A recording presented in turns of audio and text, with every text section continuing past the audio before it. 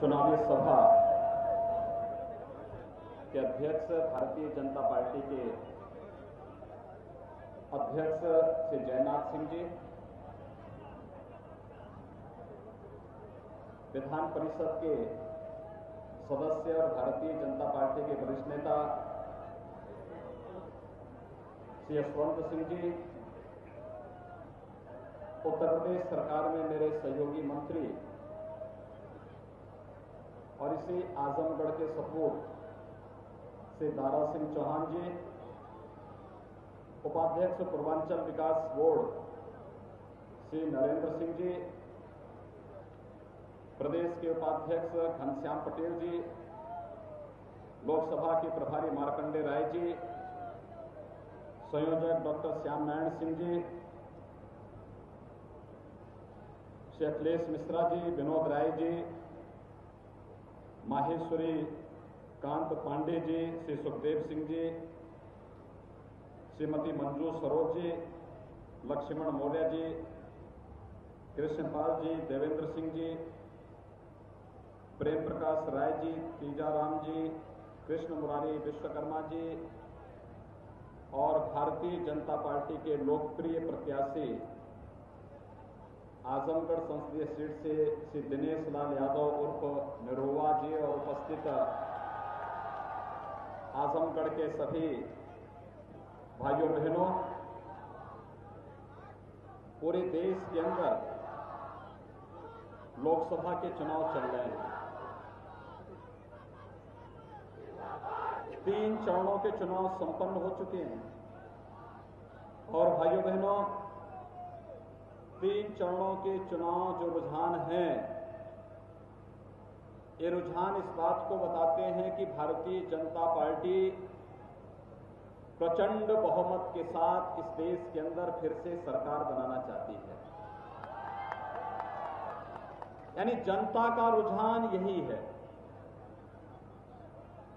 मुझे पूरे देश के अंदर पूरब में, पश्चिम में, उत्तर में, दक्षिण में, चाहे वो पश्चिम बंगाल हो, उड़ीसा हो, असम हो, त्रिपुरा हो,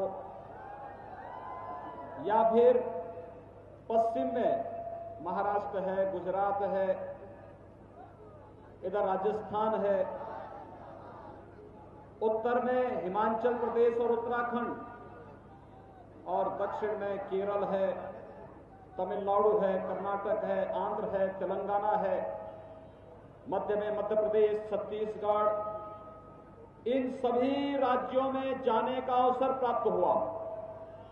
और प्रत्येक नागरिक के मुँह पर, इस देश की प्रत्येक जनता की जवान पर एक ही नाम है। एक ही नाम है।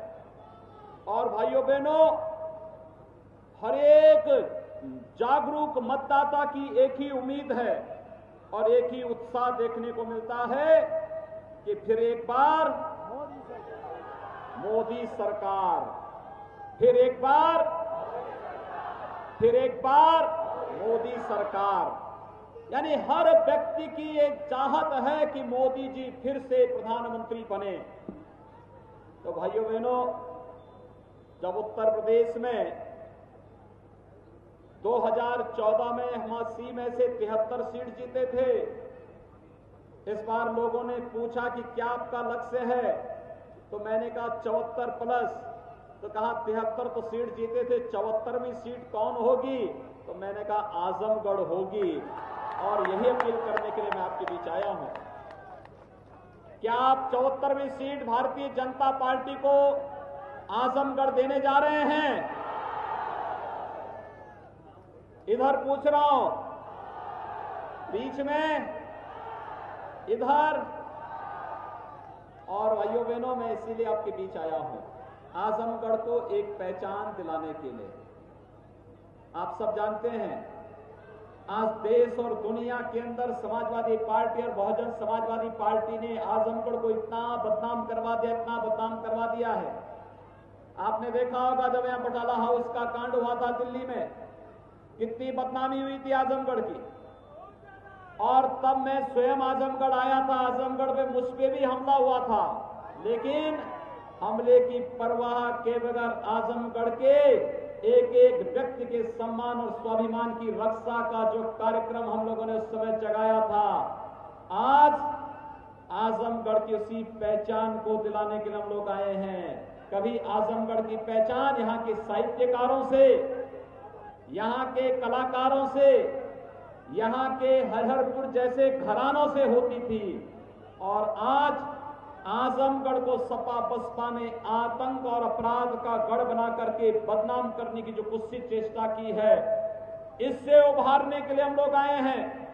भाइयों बहनों, आजमगढ़ के सामने पहचान का संकट किस रूप में होता है?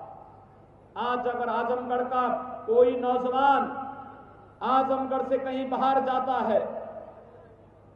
अगर वह आजमगढ़ नाम लेता है, होटल में कमरे नहीं मिलते। कोई किराए पे मकान नहीं देता। न जाने कहाँ पर क्या घटित हो जाए। क्योंकि जैसा नेतृत्व आजमगढ़ से चुन करके जाता था, वह उसी प्रकार की छाप आजमगढ़ के प्रत्येक व्यक्ति पर पहुँचती थी और उसकी आँख से आजमगढ़ का प्रत्येक नागरिक उस तपिस में जुलसता हुआ दिखाई देता था। नौजवानों के सामने अपनी पहचान का संकट खड़ा होता था। और इसीलिए मैंने भोजपुरी का एक सुप्रसिद्ध स्टार आपके सामने दिया है, जो आपकी कला, आपकी परंपरा, आपकी संस्कृति और आपकी विरासत को लेकर के जिसने गरीबी झेली है, गरीबी देखी है, और गरीबी में संघर्ष करते हुए अपनी एक मुकाम बनाई है। और अपनी पहचान बना करके आज आजमगढ़ को भी एक नई पहचान दे सकते हैं। और इस पहचान को देकर के यहाँ के युवाओं के जीवन को उज्जवल राह दिखा सकते हैं। इसीलिए दिलेश लाल यादव, निरुवा को मैं आजमगढ़ में लेकर के आया हूँ। भाइयों, बहनों, इसीलिए लेकर के आया हूँ।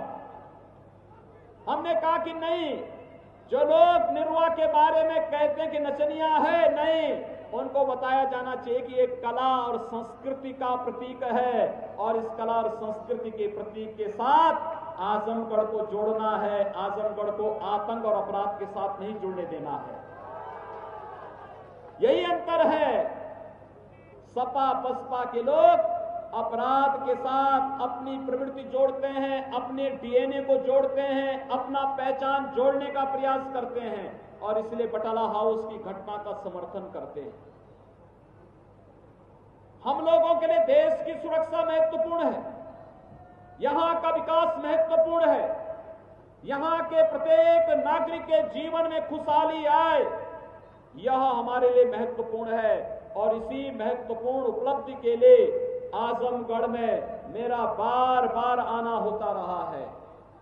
भाइयों बहनों, जब हम लोग पूर्वांचल की बात करते हैं, एक तरफ़ गोरखपुर है, एक तरफ़ वाराणसी है, दोनों ने काफ़ी विकास किया। विकास की प्रक्रिया के साथ काफ़ी आगे बढ़े, लेकिन बीच का आजमगढ़, मऊ, जौनपुर ये सारे के सारे क्षेत्र विकास से बहुत पीछे छूट गए थे। आजमगढ़ से निकला हुआ व्यक्ति, गाजीपुर से निकला हुआ व्यक्ति, मऊ से, घोसी से निकला हुआ व्यक्ति, लालगंज से निकला हुआ व्यक्ति या मेहनगर से निकला हुआ व्यक्ति, जब बाहर जाता है, खूब प्रगति करता है, खूब मेहनत करता है, खूब अपने पुरुषार्थ के बल पर, परिश्रम के बल पर खूब यश प्राप्त करता है। लेकिन आजमगढ़ के साथ इस शरीर नहीं जुड़ पाया। और आजमगढ़ के साथ मेरा भावनात्मक लगाव था, क्योंकि जब मुझ पर हमला हुआ था, पूरा आजमगढ़ मेरे साथ सड़कों पर निकल करके उन तत्वों का मुंहतोड़ जवाब देने के लिए खड़ा हुआ था। और तब मैंने कहा था कि आजमगढ़ का विकास होना चाहिए। हमारी सरकार बनी तो भाइयों बहनों आजमगढ़ को सबसे पहली सौगात मैंने दी कि आजमगढ़ में प्रधानमंत्री जी को आमंत्रित करके जुलाई 2018 में पूर्वांचल एक्सप्रेसवे का सबसे बड़ा भाग आजमगढ़ को दिया है और आजमगढ़ को हम सीधे लखनऊ के साथ जोड़ रहे हैं। ये लखनऊ के साथ जोड़ने का कार्यक्रम इसलिए जिससे आजमगढ़ में हम एक औद्योगिक वातावरण दे सकें। आजमगढ़ में विकास की संभावनाओं को आगे बढ़ा सकें। और जब आजमगढ़ के प्रबुद्धजन मेरे सामने आए, इन्होंने कहा, संगठन के हमारे पदाधिकारियों ने कहा कि आजमगढ़ में भी तो कुछ होना चाहिए। पूर्वांचल एक्सप्रेस वे तो बन जाएगा, उद्योग लगेगा, नौजवानों को नौकरी मिलेगी। लेकिन नौकरी देने के पहले यहाँ पर उच्च शिक्षा के भी तो कुछ केंद्र होने चाहिए। तो भाइयों बहनों मैंने इसी बजट में आजमगढ़ के लिए विश्वविद्यालय की ही व्यवस्था कर दी है। अब आप सोचे ना, इतने बड़े बड़े कार्य तो यही हुए हैं। और शेष अन्य कार्यों को अगर मैं गिनाऊं आपके बीच में तो आजमगढ़ में आप एक बार सपा, बसपा के विधायक और इनके सांसद पद के पूर्व के प्रत्याशी या जो भी लोग रहे हैं, इनसे एक बार पूछना और इनसे बताना कि वास्तव में अगर वह भाजपा सरकार के दो वर्ष में और मोदी जी की पाँच वर्ष की सरकार के कार्यकाल की तुलना इनके 55-60 वर्ष के कार्यकाल से भी कर लें तो भी मोदी जी का और प्रदेश में भारतीय जनता पार्टी सरकार का पलड़ा भारी होगा। और यही बताने के लिए मैं आया हूँ। हमने यहाँ पे तीन हज़ार आवास तो शहरी क्षेत्र के गरीबों को दिया। और अट्ठाईस हज़ार से अधिक आवास ग्रामीण क्षेत्र में गाँव के गरीब को उपलब्ध करवाया है। भाइयों बहनों, हम लोगों ने यहाँ पर दो लाख सत्तावन हज़ार छह सौ से अधिक गरीबों को निशुल्क विद्युत के कनेक्शन उपलब्ध करवाए हैं। एक लाख छियासठ हज़ार परिवारों को यहाँ पर हम लोगों ने रसोई गैस के कनेक्शन भी उपलब्ध करवाए हैं। और साथ ही साथ पाँच लाख से अधिक परिवारों को एक एक शौचालय आजमगढ़ में ऐसे गरीबों को दिलाने का कार्य हमारी सरकार ने किया है। अब तक हम लोग दो लाख पिचानवे हज़ार नौ सौ से अधिक किसानों को, नोट करिए, दो लाख पिचानवे हज़ार नौ सौ से अधिक किसानों को प्रधानमंत्री किसान सम्मान निधि में चार हज़ार रुपए उनके खाते में भेज चुके हैं और चुनाव के बाद शेष जितने किसान होंगे। इन सबके खाते में भी छह छह हज़ार रुपए हर वर्ष आना प्रारंभ हो जाएगा। इसके लिए उनको कहीं जाने की आवश्यकता नहीं पड़ेगी। भाइयों बहनों, जब किसानों के कर्ज माफ़ी की बात हुई थी तो अकेले आपके इस जनपद में हम लोगों ने बासठ हज़ार से अधिक किसान परिवारों के कर्ज माफ़ किए थे। एक लाख रुपए तक का कर्ज माफ़ किया था। यानी इतने कार्य आपके अकेले इस जनपद में हुए हैं, आप अनुमान कर सकते हैं कि विकास के इन कार्यों की एक लंबी श्रृंखला है और उस श्रृंखला को आगे बढ़ाने के लिए ही योग्य जनप्रतिनिधि विकास की सोच जिसके अंदर हो, उस प्रकार का प्रतिनिधि हमें चाहिए। और भाइयों बहनों, पूरे देश के अंदर जो लहर है, पश्चिम से चुनाव हो रहा है। आपने देखा होगा, सहारनपुर है, मुजफ्फरनगर है, केराना है, मेरठ है, बिजनौर है, गाजियाबाद है गौतम बुद्ध नगर है बुलंदसर है, मुरादाबाद है, बरेली है, सभी जगह एक ही आवाज़ है और वह आवाज़ है मोदी मोदी मोदी की। सब जगह एक ही आवाज़ है। फिर एक बार, फिर एक बार मोदी सरकार की। और मोदी सरकार की आवाज़ इसलिए है क्योंकि मोदी जी ने पाँच वर्ष में उस प्रकार का कार्य किया। अगर मोदी जी ने देश की सीमाओं की रक्षा की पुख्ता व्यवस्था नहीं की होती तो पाकिस्तान हमारे देश के सैनिकों का सिर काट करके लेके जाता था। चीन कई कई किलोमीटर तक भारत की सीमा में घुसता था। सरकारें मौन रहती थी, कहती थी, कहीं संबंध न बिगड़ न जाए। और इस बार आपने देखा होगा, पुलवामा में जैसे ही हमारे सैनिक शहीद हुए, सीआरपीएफ के जवान शहीद होते हैं। प्रधानमंत्री जी ने अगले दिन घोषणा कर दी थी कि हमारे जवानों का बलिदान व्यर्थ नहीं जाएगा। दुश्मन कहीं भी छुपा होगा, पाताल में भी छुपा होगा, उसको निकाल बाहर लाएँगे और उसको उसी की मौत मारेंगे। और भाइयों बहनों, बहत्तर घंटे के अंदर सभी आतंकियों को मार गिराना और दसवें दिन पाकिस्तान के अंदर चढ़ करके सभी आतंकी कैंपों को नष्ट करना, ये दृढ़ इच्छा शक्ति की सरकार ही कर सकती है। सेना के सौर पराक्रम पर कभी कोई संदेह नहीं था। किसी को संदेह नहीं था। लेकिन राजनीतिक नेतृत्व पर, उनकी इच्छा शक्ति पर, उनकी नियत पर सदैव खोट ज़रूर रहा है।